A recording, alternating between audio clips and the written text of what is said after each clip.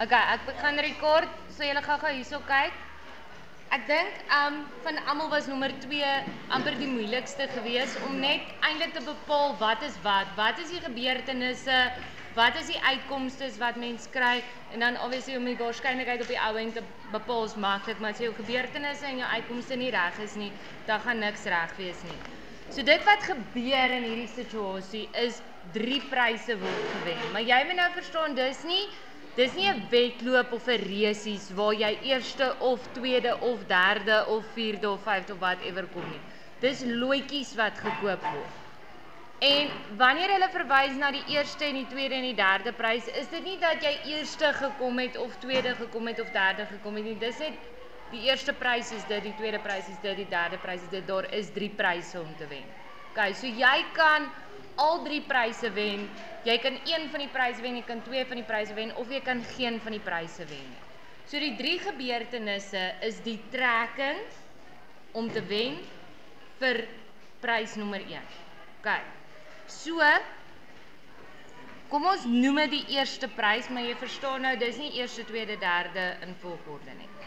As hulle die eerste trekking doen, is daar twee uitkomste. Jy kan of wen of hy kan verloor. OK. Daar's 250 loetjies daarin.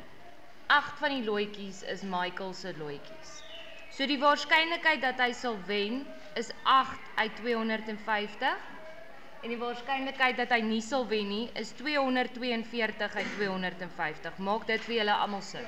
OK. Nou het hulle die trekking gedoen. Die kaartjie wat hulle getrek het is uitgehaal, dis nou verby alles. Nou is dit die tweede gebeurtenis. Nou as Michael die eerste loetjie of die eerste prys gewen het, kan hy nog steeds weer die tweede prys hom wen of verloor. So dan gaan jy weer 'n wen en 'n verloor hê, maar nou omdat dit mekaar beïnvloed sy wenkaartjie wat getrek is is uitgehaal. So hoeveel van sy kaartjies is nog daar binne-in? Gaan dan net 7 wees. En hoeveel kaartjies is nou in totaal in daai houer? Net 249. En die kaartjies wat nie sy naam op het nie is 242 uit 249. As hy verloor het, as hulle nie sy naam getrek het met die eerste trekking nie, dan kan hy nog steeds die tweede prys wen of verloor. Dan het hy nog steeds 8 kaartjies in en daar's 249 kaartjies oor, want die verloor kaartjie was iemand anders se naam, so hy's uitgehaal en weggegooi. En die kans dat hy sal verloor hierso, een van die verloor kaartjies is uit, so dis 241 op 249. Daai gee 1, daai gee 1, daai gee 1. OK, dit was die tweede prys. Nou is daar nog 'n gebeurtenis en dis vir die derde prys. As hy die eerste een gewen het en hy die tweede een gewen, is daar nou nog kaartjies van hom daar binne om getrek te kan word? Ja, want hy het 8 kaartjies gekoop. As hy net 2 kaartjies gekoop het, dan sou daar nou net een uitkoms gewees het vir hom. Hy sou net verloor het. Maar hy het 8 gekoop, so hy kan nog steeds wen of verloor, wen of verloor, wen of verloor, wen of verloor. Die eerste kaartjie het hulle daar uitgehaal toe hy gewen het. As hy die tweede prys ook wen, het hulle weer een van sy kaartjies uitgehaal. So dit wat oorbly is dan 6 van sy kaartjies en daar's 248 kaartjies om van te kies. En hierso is 242 uit 248 wat nie sy naam gaan op hê nie. As hy een gewen het, die tweede een verloor het, en hy kan die derde ene wen, is die kans dat hy hom daar gaan wen. Een van sy kaartjies is al uitgehaal. So dis 7 uit 248 en hierdie is 241 uit 248. Almal nog by? OK. As hy hierso was het hy 1 verloor, 1 gewen. So net een van sy kaartjies is is uit. Dis ook 7 uit 248 en daar bly oor 241 uit 248. En as hy verloor het en hy het weer verloor dan sou nog steeds 8 kaartjies oor en is 248 kaartjies wat daar moontlik kan wees en dis 240 uit 248 die kans dat hy nie sou wen nie. OK. Dit was die moeilikste enetjie om op te stel. As jy dit kon doen dan is jy redelik fyn. Nou is dit net die vraag daaroor wat is die waarskynlikheid dat Michael geen prys wen nie. So jy sê daai 3 met mekaar vermenigvuldig. 242 op 250 maal met 241 maal ag op 249 maal met 240 op 248. Kyk, kom net gou tik hierso.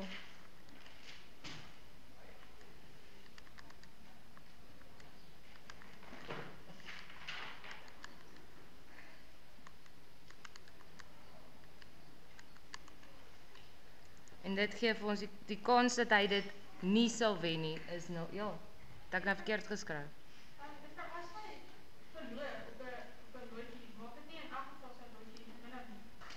Nee, want dan het hulle nie sy naam getrek nie. So jy vra jou sê net maar hy het nou die eerste een verloor, dan daar nog steeds 8 van sy name daar binne. As hy hom weer verloor het, dan daar nog steeds 8 van sy name daar binne. Maar as hulle sy naam getrek het, dan word sy kaartjies minder.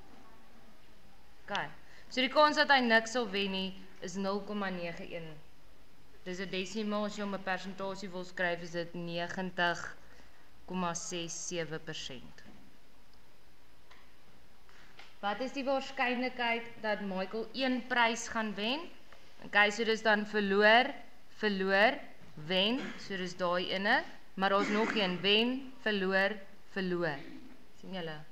Twee kombinasies wat net een prys gee en dan sou nog een verloor, wen, verloor. So dis daai daai een, daai een en daai een. staan almal dit? Ek gaan vir julle um die sommetjie neerskryf. Maar ek dink julle weet of kom ek wys hom sommer net ek wil net tyd spaar. So dis daai rytjie 8 op 250 maal 242 op 249 maal met 241 op 248. Dis die eerste ene. Se rytjie. As jy die volgende een wil bysit, dan plus jy hom by.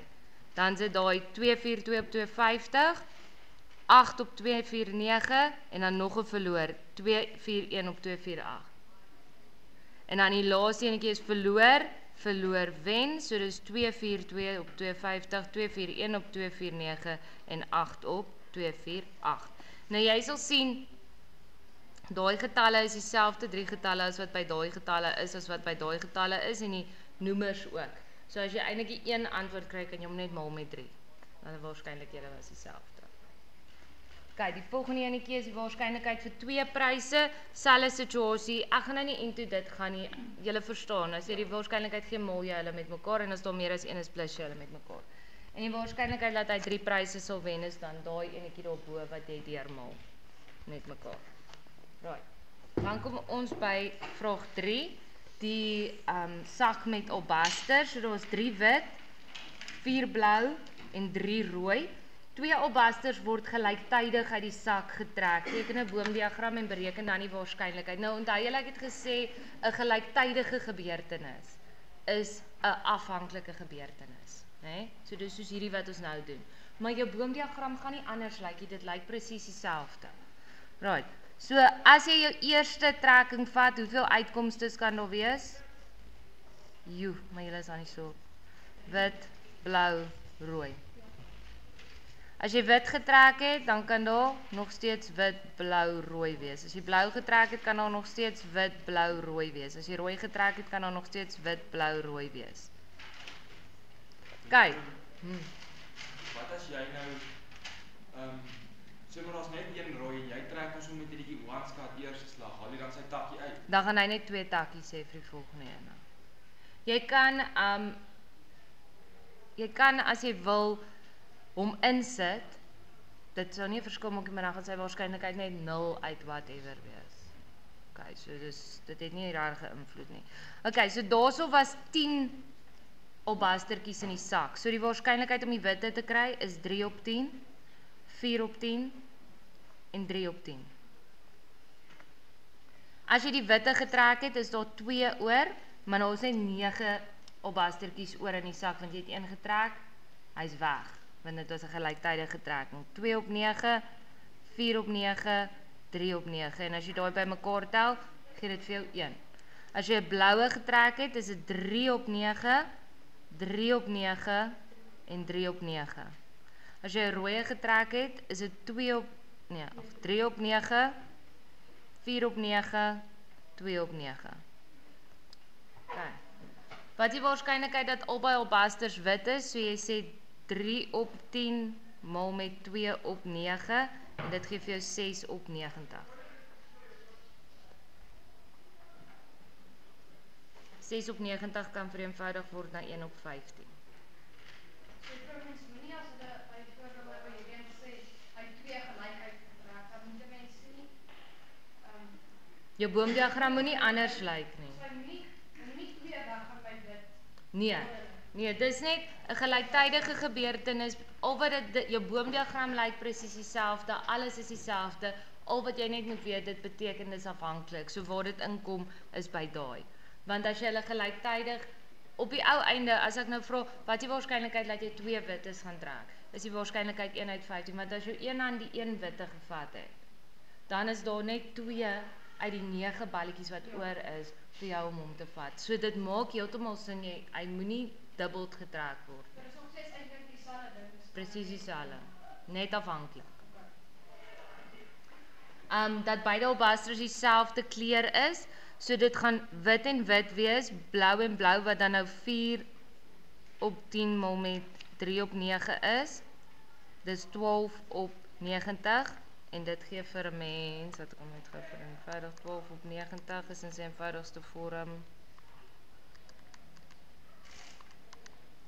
2 op 15 en dan 3 op 10 maal met 2 op 9 vir twee rooies en dit gee ook vir jou 1 op 15 so die totale waarskynlikheid om twee van dieselfde kleur te kry is dan 'n 15de plus 2 15des plus 1 15de en dit gee vir jou 4 15des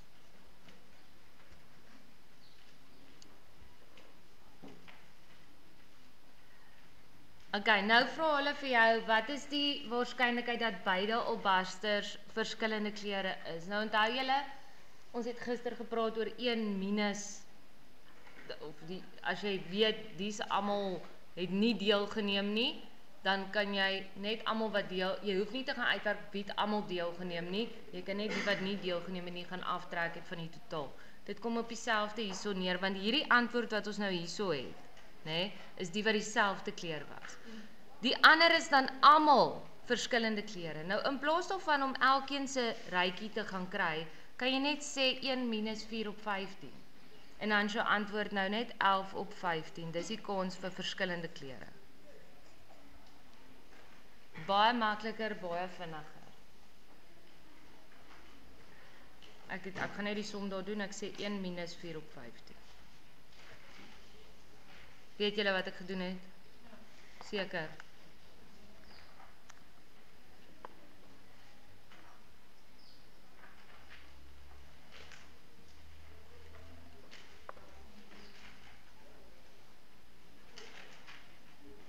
Kyk, die laaste enetjie is die kosblik. Die kosblik bevat 4 broodjies en 3 piesangs. Dit hang maar af hoe hulle hom vir jou vra. Hulle kan hom vra net sekere waardes uitlaat of hulle kan vir die boomdiagram gee en jy moet die vrae daaronder beantwoord of hulle gee vir die boomdiagram, maar dit sal nie so groot ding wees soos byvoorbeeld by vraag 2 nie. Gaan kleiner boomdiagrampie wees met twee uitkomste of so.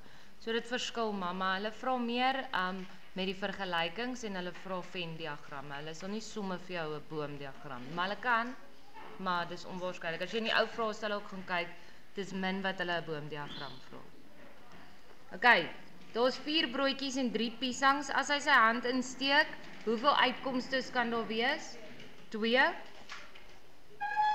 Broodjie piesang en hulle sê hy gaan hy kies dan willekeurig nog 'n een en dan nog 'n een. So as hy die met die eerste een 'n broodjie gevat het en hy vat nog 'n, daar's nog 'n gebeurtenis, is dit weer broodjie piesang, broodjie piesang en dan nog 'n keer.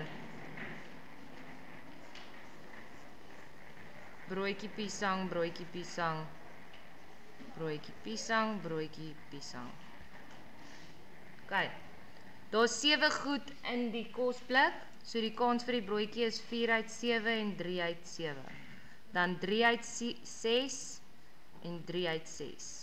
En dan 2 uit 5 en dan 3 uit 5. Iemand se foon by. Is dit hier binne of is dit buite? OK. 4 uit 7 as hy 'n broodjie vat en hy vat 'n piesang, dan gaan daar 3 broodjies oor wees en 2 piesangs oor wees. As hy piesang vat, dan gaan daar 4 broodjies oor wees en 2 piesangs oor wees. As hy piesang vat en hy vat 'n broodjie, dan gaan daar 3 broodjies oor wees en 2 piesangs oor wees. As hy piesang vat en hy vat 'n piesang, dan gaan daar 4 broodjies oor wees en 1 piesang oor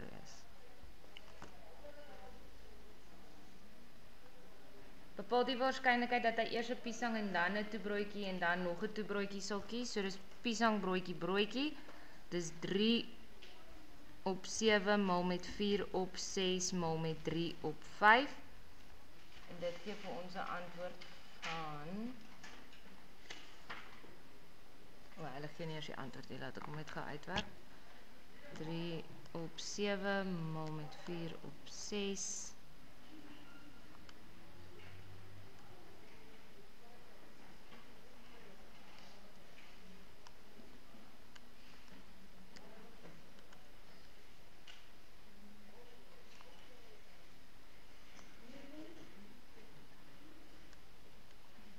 gee vir jou 6 op 35.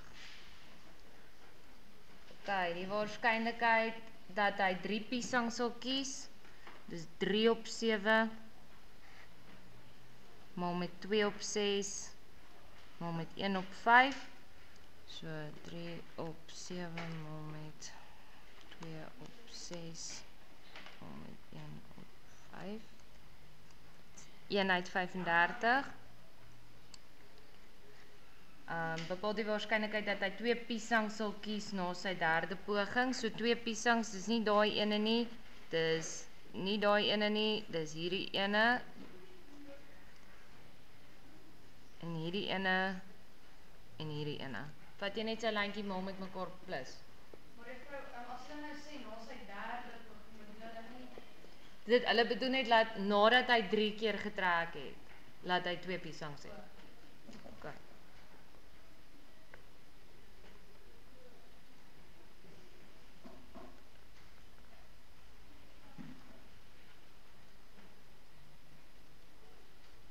Almal reg.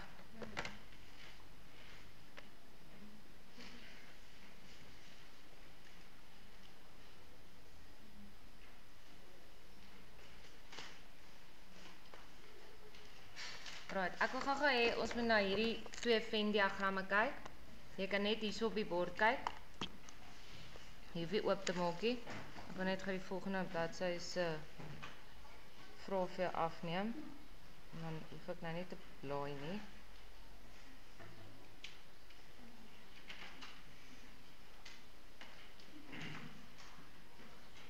Okay. Wat is die waarskynlikheid? Hierso is hierso is twee Venn diagramme. Ek kan verwys na A, B, C of D. Daai's A, daai's B, daai's C, daai's D. So as na hierdie ene kyk, hulle is wat se tipe Venn diagram is hierdie? Insluitend want daar's 'n N waarde, nê. Nee. Hierdie een is ook nie uitputtend nie. Nê. Nee. Nee, nee, onderling uitsluitend is as hy so is. Uitputtend is as hy niks aan die buitekant het nie, so hierdie een is nie uitputtend nie. En komplementêr is hierdie een toevallig ook, want hy's onderling uitsluitend en hy is uitputtend. OK. Wat is die waarskynlikheid? Onthou hierdie twee het niks met mekaar te doen nie. Wat is die waarskynlikheid om A te kry? Dan gaan jy nou kyk, hoeveel getalletjies is daar in A? 3, né? Nee? Hoeveel getalletjies is daar in totaal? 1 2 3 4 5 6. So die waarskynlikheid vir A is 3 op 6, dis half. Almal by? OK. Wat is die waarskynlikheid om B te kry? 4 op 6. Dis hy. Wat is die waarskynlikheid om nie A te kry Hoeveel van die getalletjies is nie deel van die A-sirkel nie? 1 2 3 3 uit 6. Okay, dis kom ek nou hierdie met julle doen want dit raak so 'n bietjie triekie wat jy jouself bevraagteken wat hulle nou presies sê. Wat is die waarskynlikheid om nie B te kry nie? 1 2 wat nie in B se sirkeltjie is nie. So 2 uit 6. OK. Onthou as jy 'n waarskynlikheid sê en as jy waar, waarskynlikheid skryf as 'n breek. Ek weet julle ek weet wat julle bedoel as julle sê 2, maar as jy dit so gaan oefen, gaan jy dit so skryf in die eksamen en dan kry jy 0. OK. Wat is die getalle wat jy kan kry? So ek soek nie waarskynlikheid nie. Ek wil net weet wat is die getalle wat jy kan kry vir A of B?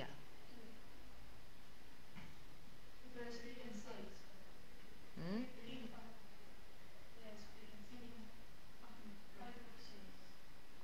OK, kom ons kyk gou-gou mooi. A of B beteken sê net maar ek die wiskunde juffrou en die rek juffrou het vir die kinders toffies gegee. OK? Ons wil weet hoeveel kinders het toffies gekry. So as jy of wiskunde het of rek het, dan het jy 'n toffie gekry. Dis wat A of B is. So jy hoef nie by A by wiskunde en rek te wees nie. As jy by wiskunde was, sou jy toffie gekry het, as jy by rek was, sou jy toffie gekry het, as jy by wiskunde en rek was, sou jy toffie gekry het. Maak dit sin? OK. So A of B is die sirkels van A of B. Either one. Almal wat binne in 'n sirkel is. So A of B is 2, 4, 6, 3 en 5. As hulle sou gevra het A en B en ek dink dit is die volgende vraag, wat is die getalle vir A en B? Laat ek dit gekyk. Wil nou nie blaai nie. Ehm um, Nee, hulle vra nie sy getalle nie. A en B se getalle is 4 en 6. Het julle die verskil? OK. Right, so nou dat julle vir my gesê het A of B se getalle is 2, 4, 6, 3 en 5. Wat is die waarskynlikheid om A of B te kry? 5 uit 6. OK. Wat is die waarskynlikheid om A en B te kry? 2 uit 6. Daar's hy, julle kom nou reg. Wat is die waarskynlikheid om nie A of B te kry nie? Mooi, mooi, mooi het hom. Wat is die waarskynlikheid om nie A en B te kry nie? 1 2 3 4 uit 6. OK. Wat die waarskynlikheid om A te kry en nie B te kry nie? Mooi, dis net daardie twee, nê. Nee. Hy's A en nie B nie. OK. As hulle so twee goed gee, moet moet al twee goeters dit moet waar wees vir al twee goed. So hierdie een is nie B nie. Maar kan hom nie insluit nie want hy's ook nie A nie. Ons soek A, maar nie B nie. Ons die wiskunde kinders, maar nie die rekeners nie. OK, die wat net wiskunde het. Um nie A nie en B. 2 uit 6. Baie mooi. A of nie B nie. A of nie B nie. A of beteken dit hoef nie vir albei waar te wees nie, nie B nie. Soos 2 uit 6. Verstaan julle dit? OK? Um nie A nie of B. Nie A nie, so dit al daai ene uit. Of B. 1 2 3. Sharp. Um Wat is die waarskynlikheid van B plus die waarskynlikheid van nie B nie? Dis 4 uit 6, né? Nee? Ag 4 op 6 plus 2 op 6, dit gee vir jou 1. OK.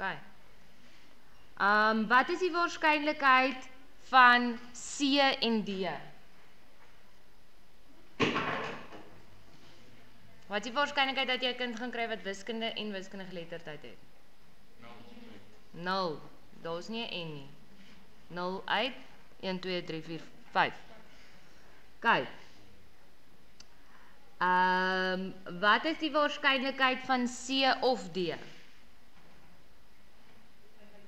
5 uit 5. Mooi, want daar's niks buitekant nie. Ehm um,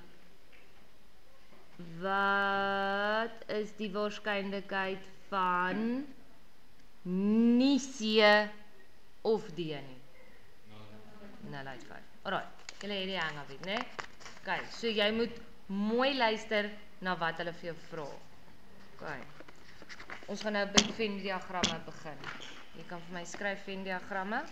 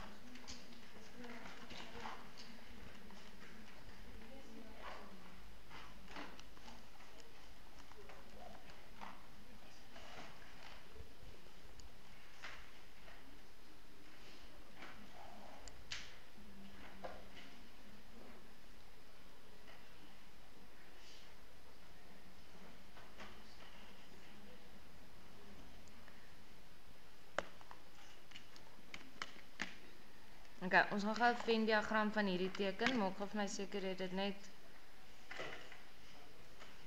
daarso.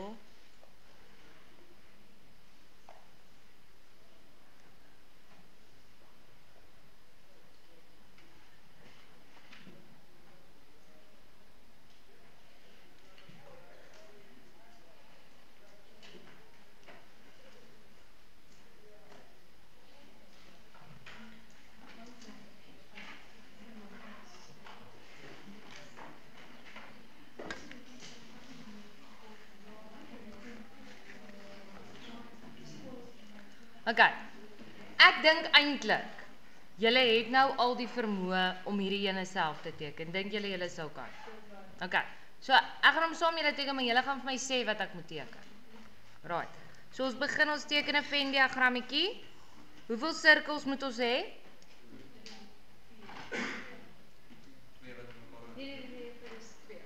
Twee. Mooi. En Benjamin sê hy moet kruis. Stem julle saam met dit? Ja ja. Insluitende gebeurtenis. Hoekom het jy gesê hy moet kruis Benjamin? Want daar is ons um, 60 vir albei. Ja. Mooi. Sokker en cricket. Jessie, hoor, ek's beïndruk. Hulle sê hoe maler jy is, hoe ronder raak jou sirkels en hoe meer reguit raak jou lyne.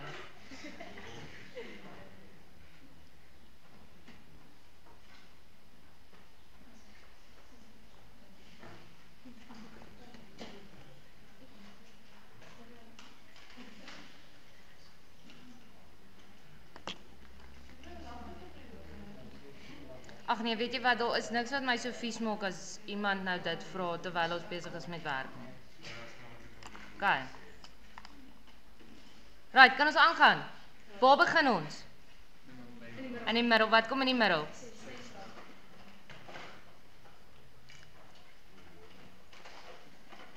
Kyk, dit kom ons het hom in. Daar's ietsie wat ek graag wil skryf. As hulle daai inligting vir jou gee, stel ek voor jy skryf dit en dis die totaal. Né? Nee, daai 420 want niks kan dit beïnvloed nie. Dit is die totale hoeveelheid kinders. So skryf hom net regs bo want jy gaan jouself moet double check. Altyd. OK, hoeveel gaan ek in sokker se sirkeltjies skryf? Jessie, op dit, op dit, op dit. Hoekom 130 Nicole? Want dit is klaar die aantal leerders is deel van die 60 anders. As hy, daar's 190 wat sokker speel en 60 van hulle is klaar deel van die sirkel, so die ander 130 is aan die ander kant. OK. Wat gaan ek in cricket se sirkeltjie skryf? 200 baie mooi. OK. En nou, as mens dit klaar gedoen het, dan vat jy jou sakrekenaar en jy sê 130 plus 60 as jy dit sonder 'n sakrekening kan doen is dit ook reg, maar dis 190 plus 200. Hoeveel gee dit vir my? Is dit die totaal? So wat nou? Dit is belangrik wat klein speel. As hy, dis die 30 kinders wat nie sport doen. Hoor jy, sy is soos doeksleerling. So. Kyk hoe rop maar dit sy moes. Goeie plan en maar. Soms so. Okay. Dit is nie moeilik nie, né? Dis die basics, dis wat ons moet kan doen. As hy. Ons gaan nou nou nog eenetjie toe. Wat van ek het nog nooit so goeie wiskunde juffrou gehad dat die wiskunde vir my so maklik is nie. Dankie Willem vir jou wat nou net wakker geword het en jou hol oopbreek. Sorry. Ja ja. Okay, Ek is daarom wakker. probeer maar net my bes vir. Ja, ek spot. Ek doen 'n goeie werk. Ja, whatever. Die waarskynlikheid dat 'n persoon melk drink is 0,6. Die waarskynlikheid dat hy water drink is 0,3. Die waarskynlikheid dat hy nie een van die twee drink nie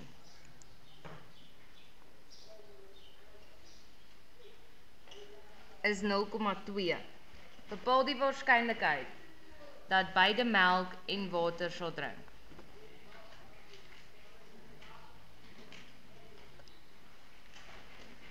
Weet jy wat gee hulle vir jou as hulle vir jou die um waarskynlikhede so gee in 'n desimale vorm? Dit is nog steeds 'n desimale getal, maar hulle gee vir jou die totaal. Want wat is die totaal? As jy met desimale getalle werk, wat's 'n volle enetjie? 1. OK. As dit persentasie was, 100%, desimaal se volledige enetjie is 1. So die hele kombinasie is 1. Nou kyk gaga die probleem wat ons nou hierso het. Hulle praat van mense wat nie melk en water drink nie. So dit beteken daar's 'n en. Die middelste een. Wat beteken of watse vergelyking ken ons as hulle as hy daai kruising het? Dis mos die waarskynlikheid van die een of die ander ene is gelyk aan die waarskynlikheid van die een plus die waarskynlikheid van die ander een minus die waarskynlikheid van hulle twee som. Ja. Dis een vergelyking wat ons ken. Maar ons het net die persentasie vir melk.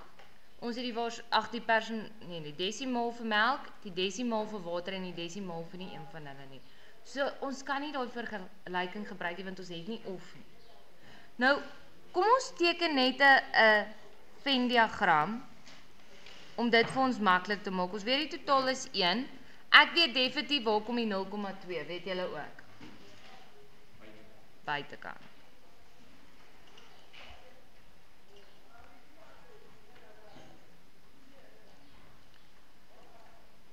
Waar begin 'n mens met 'n Venn diagram? In die middel. Nou wat nou?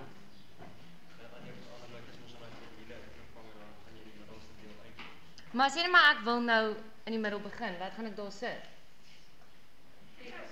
Mooi. Hulle vra vir jou beide water en melk en water drink. Dis die eerste een se vraag. OK. As jy as daar 'n onbekende waarde is, gee jy hom 'n onbekende, 'n veranderlike. So jy kan X daar sit. Nou die rede hoekom dit vrek belangrik is om jou X daar te sit, want onthou julle toe ons die 60 by die vorige een ingesit het, het ons die ander bietjie inligting gehad van 190, maar ons kon nie 190 daar geskryf het nie. Wat moes ons gedoen het? Ons het gesê 190 minus 60. So ek weet melk is 0,6, maar wat gaan ek nou daar moet skryf? Mooi. En wat gaan ek daarso by water skryf?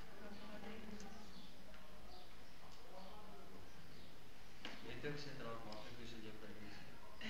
Daar is jou ene, wat waar is hy daar? Math was easy until they put the alphabet in there.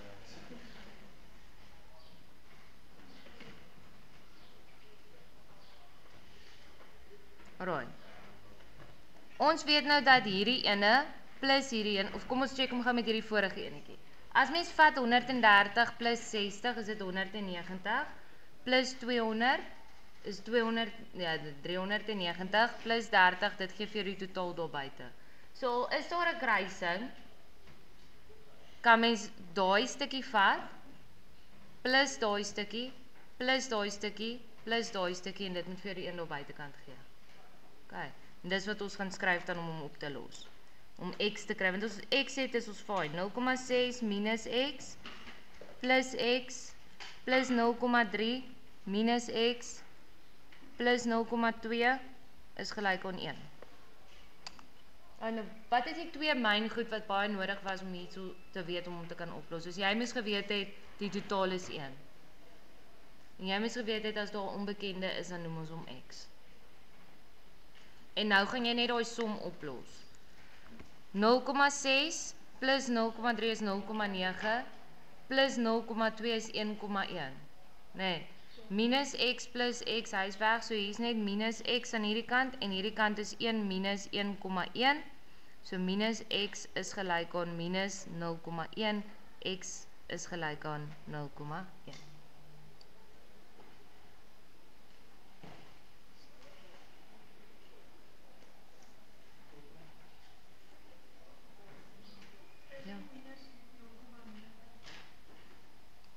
1 minus 1,1 1,1 minus 1 Ha? 0,1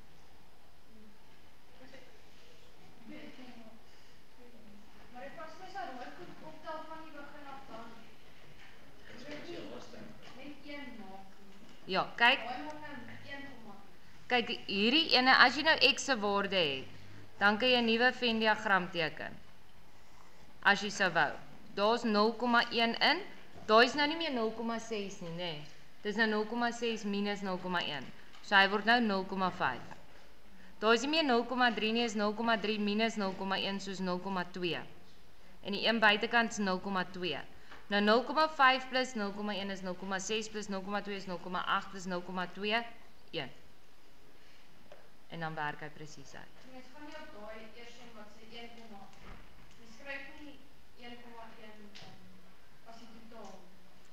Nee, kyk hierdie 1,1 is net omdat ons hierdie bymekaar getel het. Hulle gaan meer wees of dan nou minder wees afhangende van die situasie en die som, maar hy gaan verskil van daai ene indien daarso 'n kruising plaasgevind het. OK.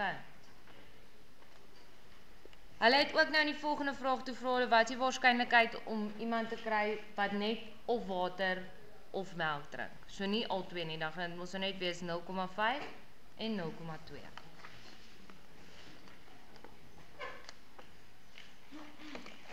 Kyk, laaste enetjie.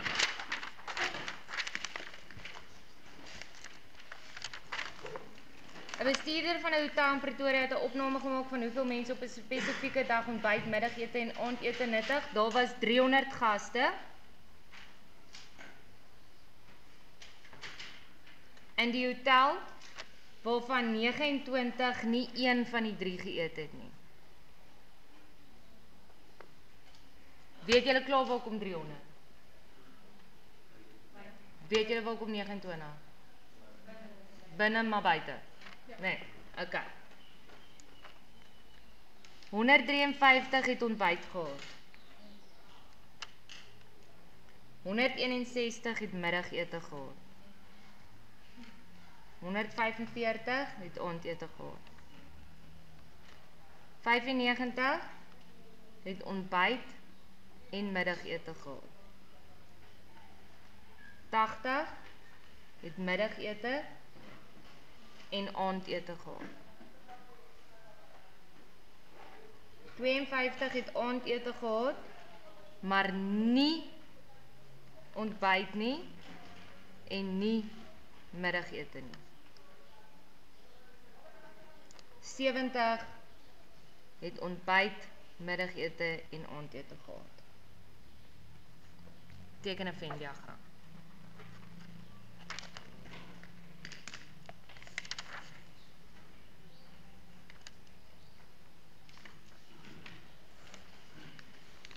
Hoeveel sirkels moet ons Venn diagram hê?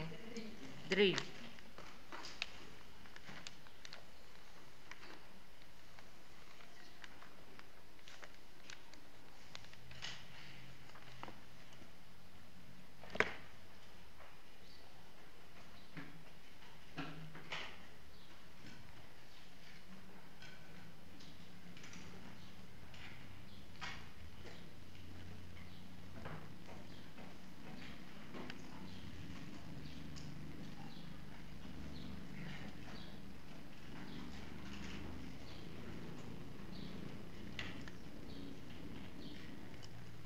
...300 buite, nê?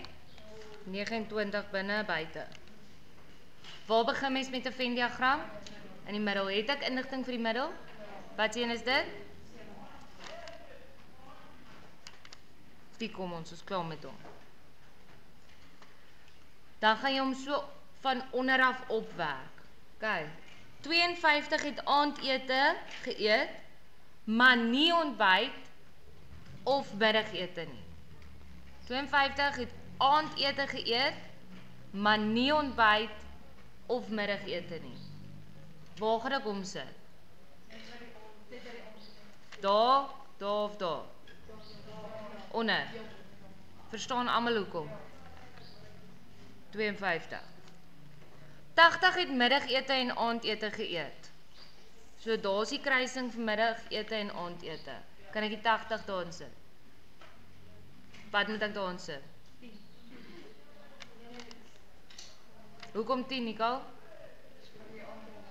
80 minus 70. Sê reg, Abigail. Vang jy dit? Kyk. Ek het daai ene, ek het daai ene. 95 het ontbyt en middagete geëet. Wat gaan ek met hom doen? Ontbyt en middagete, daar's sy kruising. 95. Minus 70, so daar kom 25 in.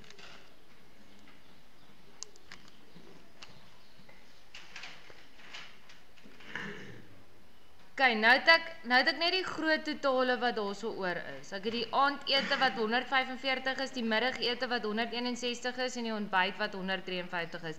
Kan ek die ontbyt gaan uitwerk? Nee, want daar's onbekend en daar's onbekend. Kan ek die middagete gaan uitwerk? Ja, want daar's net een onbekende. So, middagete is 161 Al wat ek gaan doen is ek sê 161 minus 25 minus 70 minus 10 en dit gee vir my 56. Ek kan aandete gaan uitwerk want daar's net een onbekende. Die totaal vir aandete is 145, maar ek sê 145 minus 52 minus 10 minus 70 en dit gee vir my 13. Nou as gevolg van daai 13 wat ek uitgewerk het, kan ek ook ontbyt gaan uitwerk. Ek sê 153 minus 25 minus 70 minus 13. Ek sit 'n 45 daar. Ja.